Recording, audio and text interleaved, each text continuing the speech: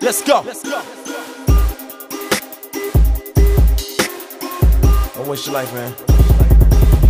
I know a lot of people that are scared to go die. Couple of them thinking they'll be living in the sky.